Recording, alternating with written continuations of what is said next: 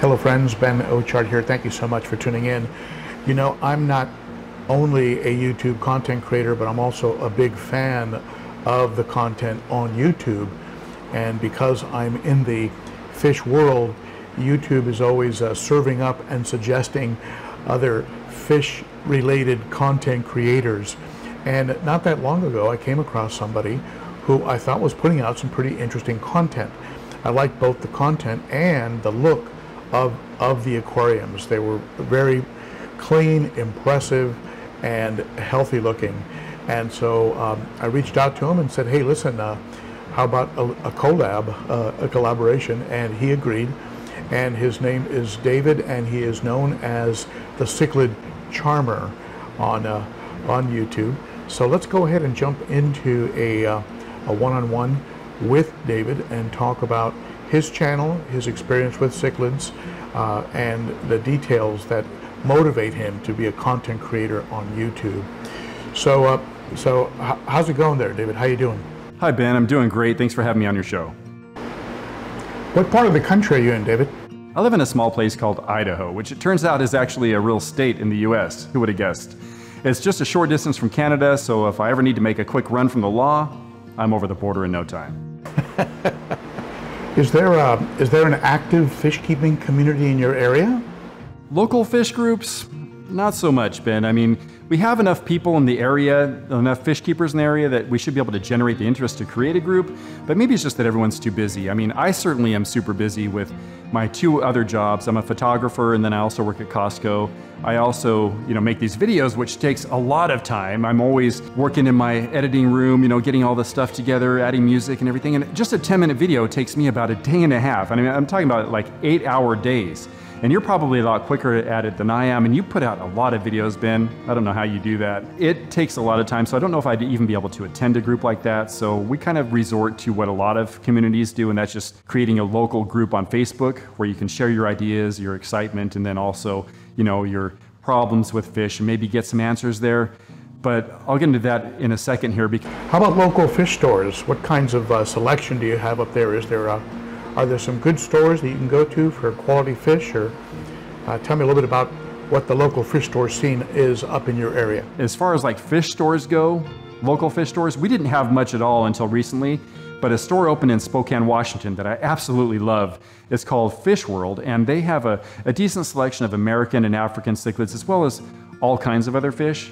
But what I love about this place, Ben, is that they have a great selection of healthy, good quality fish and they take care of them. And that's the most important thing for me is knowing that my fish come from a good place, that they're well taken care of. But an added bonus that's incredible is that the, one of the employees there, who's the son of the owner, his name's Jordan, and I think he has a degree in microbiology, but he has a whole wealth of knowledge that I have tapped into quite frequently. And if I have an illness with my fish, I would much rather ask an expert on it than post it on Facebook, you know, a blanket question and get Uh, a hundred different responses telling me basically a hundred different answers. You know, if you have a disease, ick is a good one. So people post something on Facebook and it looks like ick, but it's actually epistylis, which is similar to ick, but if you treat it like ick, it'll kill your fish even faster. I'd rather go to an expert and ask them. I get it on the time. I have a very similar situation now. Not because I'm working, I do work part-time, but uh, and I'm sort of semi-retired, which explains why I can get so many videos out. but but uh, with two two grand grandkids, uh, seven minutes away from me, and and uh, and us trying to be uh, involved and helping in that in their lives, that's that's really uh, really jamming up a lot of time in a very good way. That sounds like a real good scene with your local fish stores. I mean, I really like the idea of having uh, available to you, somebody who's that, that expert. And you're right. Uh, there are probably about as many opinions about, about what you post as there are people out there. It, it's amazing how many different uh, reactions you'll get to posting or asking about something from you just need to do a water change all the way up to, you know, quarantine and, and uh, treat with the following regimen of meds. And you never know what you're going to get when you post something on YouTube. How do you get your hands on some of your cichlids? Uh, what's your, I mean, I know you, you must be getting some of them local. Uh, do you have any online any online uh, providers that you really have, have come to trust and like since you've been uh, in the cichlid world? I don't know if you've experienced this, Ben, but it is so freaking hard to get fish that you want off your list to add to your tanks. I mean, I, I look for months on end to get the fish I want, and they're just not available anywhere. So when they come available, I jump on them and get them, and sometimes I'm not even ready for them. I'll have to set up a new quarantine tank or put them in a tank that isn't completely ideal for them while I'm getting ready to put them in the uh, main tank, just because you gotta get them when they're available, or you might be waiting another year for them. So uh, I do get my fish from my local fish store, but I also get them from online dealers that I'm pretty happy with. Ron Cichlids, which is absolutely stunning for their fish. They do sell mostly larger ones, so you're going to pay a little bit more, but they're totally worth it. They're mostly African cichlids, by the way. Snake River cichlids, which also is all African cichlids, and they're really good quality fish. Live Fish Direct is one I use for both American and African cichlids, and they've been fantastic and then Imperial Tropicals, which is also American and African cichlids, and they've been wonderful as well. So they were actually the first African cichlid shipment that I received in my experience with African cichlids was from Imperial Tropicals, and it's been great so far. So those are my online breeders and dealers that I use and my local fish store. Those are all legitimate, all legitimate uh, fish providers, uh, as far both from personal experience and from what I've heard, every one of them that you mentioned. Now, do you uh, tell me a little bit about how you feed your fish? That seems to be a question that comes up every now and then. How are you feeding your cichlids currently? Funny that you'd ask that, Ben, because right after we're done talking, I'm going to start recording my next video on what, when, and how I feed all my fish. Their main diet, though, consists of Northfin pellets. Northfin pellets are great because they have high quality ingredients. The first three or four ingredients are the most important ones in your fish food, which you know and they're all good, wholesome ingredients like salmon meal, krill meal, and things like that. You don't get wheat and other binders and fillers until you get farther down the line. I'll also throw in a little bit of Ron cichlid food and some TDO Chroma Boost, but the main bulk of it's going to be Northfin. They're a, a small family-owned business from Canada, and their products have been something I've used since I've had African cichlids and now moving on into American cichlids. Something else I do is weekly, I will give them a couple of treat days. So in the evening, I'll give them some shrimp that I actually buy frozen shrimp from Costco now. I used to buy frozen krill, but that stuff is super expensive at the pet store, so I'm just trying to save a little bit of money by getting shrimp at Costco. So these guys are eating like kings. And then I also feed them a day of veggies where I'll chop up some zucchini, blanch it, and that'll keep things moving through so they don't get that Malawi bloat, which is a really deadly illness. I think I'll come to your house and pretend to be a cichlid and get a nice shrimp meal. That's some good feeding regimen, very similar to what I'm doing. Funny you should mention uh, Northfin. I just got uh, I just got this box from our friends from our friends up in Canada. Just a whole whole bunch of great uh, Northfin stuff. I dropped off some samples at my local fish store. I talked about it in a in a recent video, but yeah, the Northfin is legit. Uh, I also I also use Xtreme, as you probably know uh, some of the um, Cunningham tropicals, and I'm also I, have just started feeding them some some frozen uh, energetics, right? Some Piscine Energetics, some frozen krill, and also some frozen bloodworms for the South and Central American cichlids. But we we we, uh, we seem to be feeding in a, a very similar manner with uh, high quality food with low fillers and also uh, and also keeping an eye on on uh, on making sure there isn't there aren't any additives in there that we don't like, any binding agents that are just going to give them bloat and, and take time to digest, but don't really provide any nutrition. And also, and also we provide a, a, frozen treat once or twice a week. I might have to try that frozen shrimp from Costco. I am a Costco member, so maybe I'll pick some of that up. So, is there a is there a fish currently that you would consider your favorite fish? One that is your uh, that maybe you spend a little more time looking at than the other ones? Well, no, Ben. I love all my fish equally. Just kidding. I totally have favorites. And my ultimate favorite is a Lake Victorian fish. He's a zebra obliquidens that we've named Zeke. Yeah, we name our fish. I don't know, I haven't heard that you name your fish, Ben, so maybe I'm just a weirdo, but we do name a lot of our fish here. Zeke is an amazing fish. He has the black stripes with yellow in between and then a red spot over his heart, so he's beautiful, but his beauty isn't why I love him so much, it's more of his personality as a fish. He's always been, if not the tank boss, then a powerhouse in the tank. But he doesn't use it for evil. He uses it for good. I mean, he's the kind of fish that I've always compared, and I don't know if anybody else does this out there, but I compare some of my fish to actors or movie characters. He's been like the Clint Eastwood of my tank. That's because he does what needs to get done. He's not a jerk about it. He goes and takes care of business. Like if a fish is being a jerk, he'll he'll let him know that he's not to be messed with, and then he'll just lay off of him.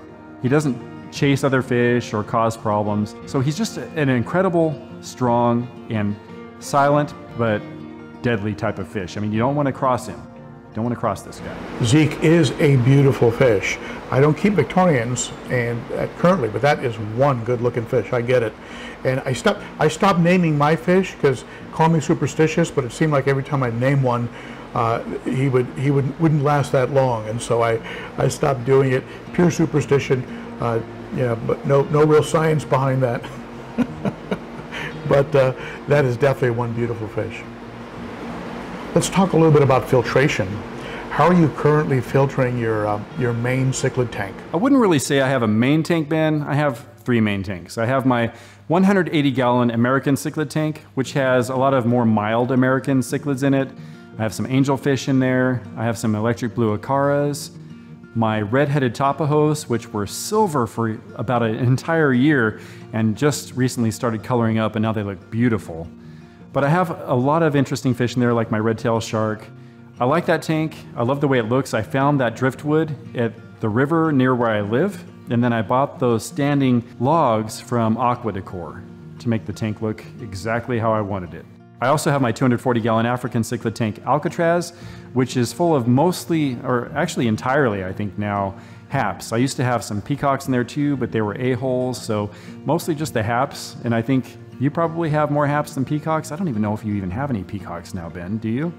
And then my 435 gallon, 10 foot long American cichlid tank, San Quentin. This tank is a custom aquariums built tank they did a fantastic job on the tank itself, and I also got a sump from them, a seamless sump that's doing a great job filtering the tank as well. All the decor in the tank is provided from Aqua Decor, except for a few of the rocks are actually natural rocks. The branch, most of the rocks, and then these leaves which I have some catappa leaves in there. Some of them look like normal catappa leaves, and some of them look like they're decaying, which just adds a note of authenticity to everything else in the tank. I notice you name your uh, tanks and your fish. That's great. After penitentiaries, were you in law enforcement at one point? very, very cool. Those tanks are absolutely stunning. They're beautiful, and uh, I'm, I'm very, very impressed at, at how you're keeping them, how they look and also the, uh, the combination of fish you have in there. Very, very nice. I kind of feel the same way. It would be hard for me to pick one tank uh, that is uh, my favorite. You like them each for different reasons, and uh, so I, I, get where you're coming from. But very good job in those tanks. I love the way you've decorated them. And on the leaves, I, I also use leaves in my in my community tank, and sometimes I'll drop some into a, a quarantine or a hospital tank uh, they do seem to add uh, both a, a, a, good look, and the fish seem to like them a lot. I know the um, the plecos, they love munching on those leaves. They turn them into a, a skeleton in no time. Let's talk a little bit about your YouTube channel. Why did you call it the Cichlid Charmer? So interesting thing about that is when I was coming up with the name for my channel, I didn't really think too long about it. I mean, it just kind of came to me. It was like Cichlid Charmer. And the reason was is because I started thinking about those snake charmers, you know, with those deadly snakes with violent dispositions, and they're just playing their little flute and getting it to do whatever they want it to do. Well, that's kind of like us with our cichlid tanks, right? I mean, especially the African cichlids, and then when you get the super aggressive American cichlids, we're like, we're charming our cichlid fish into getting along with each other. Because those guys are, are complete nut jobs. I mean, their main focus generally is eating and then killing everybody else. And somehow we're getting them to live together in a small glass box which is incredible. I mean, we're kind of charmers of the fish world, I think. Plus, the name sounded pretty cool. It does sound cool. It did catch my attention. And you're right, we are we do have to be a, a charmer to some degree. And and you were right earlier in your observation. I am not keeping peacocks currently, mostly because they killed each other off. So um, I've, I've sort of left the peacock world, and you would think the so-called predator haps uh, you know, you think those would be the more aggressive, but in my experience, they haven't been. So I have all haps right now in my African cichlid tank. And uh, but I agree, that is a cool name. I think it uh, we do have to be a little magical in keeping these aggressive fish together and uh, not killing each other. If you could state like a goal or a mission statement for your for your channel, what what would that be? What do you what are you trying to accomplish with your YouTube channel? My goal for the channel is really to generate and maintain interest in the hobby by making videos that are educational and fun at the same time. I mean, that's really it in a nutshell. I just want to entertain people while giving them information about how to keep their fish nice and healthy. Well, we're on the same page there. I, I, I, I bring people along on my journey, and uh, some of it is uh, some hit and miss. So I share the good and the bad, and the whole purpose. My original mission statement was to uh, was to help people win in the hobby, so that they stay in it, because the hobby does need, uh, it, it, it needs to you know it's growing, it needs to grow, and that growth occurs with education and encouragement. You and I are very much on the same page there. There are so many uh, YouTube channels these days dedicated to uh, fish care, freshwater in particular, and certainly with, with cichlids. Why, why would somebody watch the cichlid charmer? Yeah, Ben, are you ever right about that? I mean, when I started my channel, I didn't know about how, I had a handful of fish YouTubers that I was watching, including your channel, but I had no idea how many channels were actually out there, and I'm still discovering some of them, and they're really good, a lot of them. So what, why would someone want to watch my channel instead of someone else's, or maybe as well as someone else's? Well, I think there are a couple of reasons that, a couple of things that I do that set me apart, and one of them is I try to include humor throughout my video because uh, we're just talking about fish, and sometimes that can get repetitious or dry or whatever, and I just want to keep it light. And I want to keep people having fun while they're watching my videos. And another thing that I do is I come from a background of photography, so I have a lot of good quality photography gear, lighting, and I understand composition and how to hold a camera and how to take video. And I just want to include that in my videos. And I think my videos actually have a, a different look and feel than most other channels. And some people I think really like that, and others probably don't even notice it, but it's something that sets me apart. Plus, I almost always wear black, and I know some of you think black is cool. I did notice the quality of your filming, and uh, everything from lighting to uh, exposure, everything else looks very, very professional. That's one of the things that drew me to your channel, and uh, and, and I do like that a lot. And humor, I'll tell you, I I, uh, I don't like to associate with folks who don't have a sense of humor or take themselves too seriously. I think that's uh, that's a bad sign. So uh, I think uh, we, we need some humor on in in the fish keeping world. Some people just take take it way too seriously and, and take themselves way too seriously. So uh, yeah, that's a breath of fresh air in my opinion.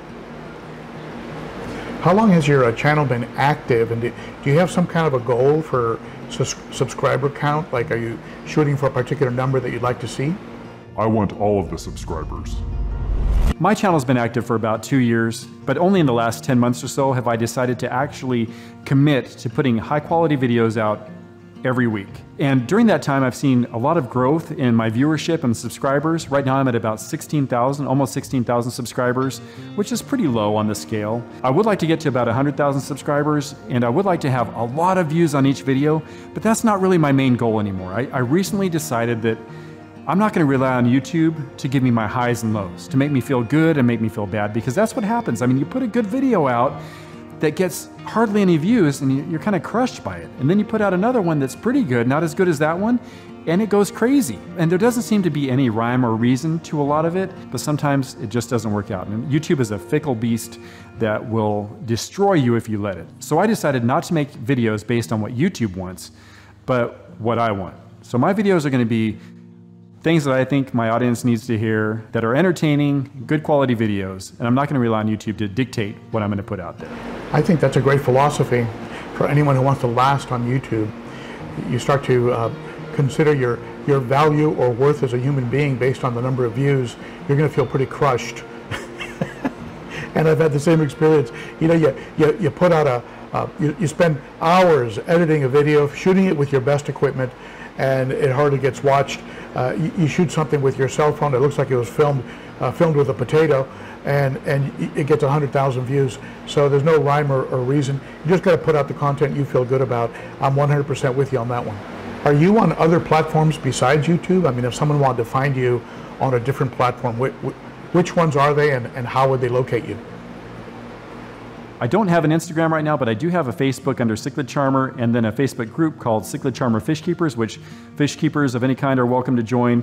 Show us your tanks, ask any questions you have, and just be a part of the group. So, David, what are your go to channels on YouTube? Not just for fish, but for just in general. What do you enjoy watching watching on YouTube? Oh man, there are a lot of great fish channels out there, Ben. I watch your channel, of course. I watch KG Tropicals uh, Cichlid Bros, and Primetime Aquatics. As far as non-fish channels go, I like a lot of movies, so I watch Flick Connection, which tells me all the streaming movies that you may have missed, a lot of a lot of movies that are lesser known, that are actually hidden gems. Then I also watch Studio Binder, which gives me a lot of ideas for creating visual content for my audience. So different angles with the camera that I can use, keeping interest, um, different lighting techniques, all kinds of things that have to do with film that I try to apply to my YouTube videos. When I'm trying to learn about YouTube and how YouTube works, what kind of videos the YouTube audience will like, then I watch Film Booth. A guy named Ed makes these wonderful videos with all kinds of great information about how to make your videos more interesting. But also, even if you're not interested in this kind of stuff, you got to watch this guy because he's absolutely hilarious. Again, we're very, very similar in our approach. I, I, I do watch Flick Connection. I like to. I also watch some of the. Uh, some of the nerd right uh, nerd channels on uh, like what's going on with uh, Game of Thrones or or I guess the the, uh, the Dragon remake now and and things of that nature. And I'm also always watching uh, video about new lenses, film techniques, lighting techniques, uh, not just for YouTube, but just just interests me. And and and I also do watch a lot of interesting uh, political commentary, news commentary, things of that nature. So uh, definitely there's a there's a, a wide range of things out there on YouTube, and uh, you and I are very very similar in, in, in the uh, in the landscape that we participate in. If somebody was thinking about starting up their first African cichlid tank, what would be the advice that you would give them? So if you're just getting into African cichlids or American cichlids and you haven't started yet, my biggest piece of advice to you is to do your research. Research the heck out of these fish before you even get your tank set up, before you get your first fish.